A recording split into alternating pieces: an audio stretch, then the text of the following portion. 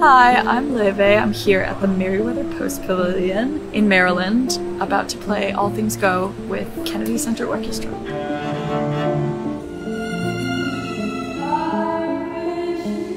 She played here with Joni Mitchell. Oh my god, that was like the first gig after I had you. I grew up in a very musical family. My mother is a violinist and my grandparents are violin and piano professors. Music was something that was always in my life, but specifically classical music.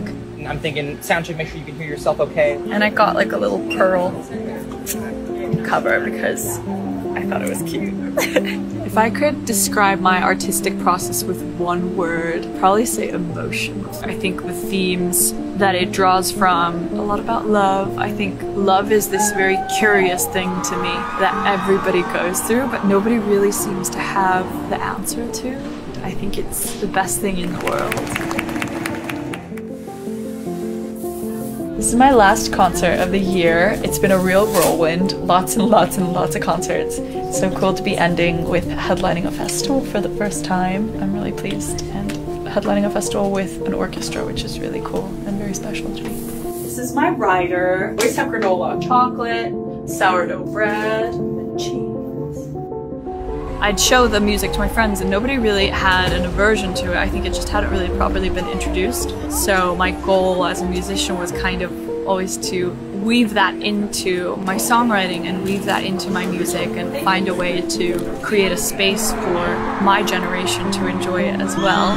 So it's been really cool to get to present my music alongside orchestras and bring that sonic world to a new audience as well.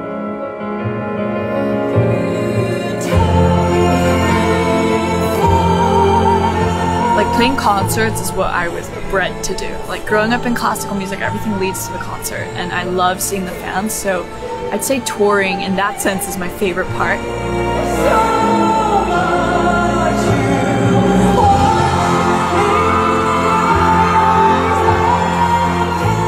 Longer scared of sounding like I'm from something really foreign. Like I actually think new audiences are drawn to things that sound different and I don't think I'm being compartmentalized as music for some sort of older generation. I think if anything it's been pegged as music for a younger generation as, as new music which I think is really really cool.